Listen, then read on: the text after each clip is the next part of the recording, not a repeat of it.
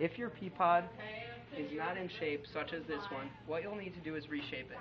To do that, you lift the PeaPod on its side, you put your feet on the lower bar here, and you reshape both of these tubes. Start with the bottom tube, put your hands about 11 and 1, push in while moving your thumb in a rowing motion and bringing the tube upward. Do the same with this tube. Then move the fabric around the tube and finesse the tubes so that they are circular. After that, your PeaPod should now be in shape. Then fold the PeaPod by pulling these tubes together,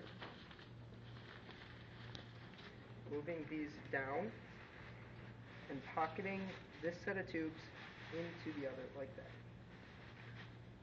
Take the strap, put it around the PeaPod, and put on the carrying case. Good job.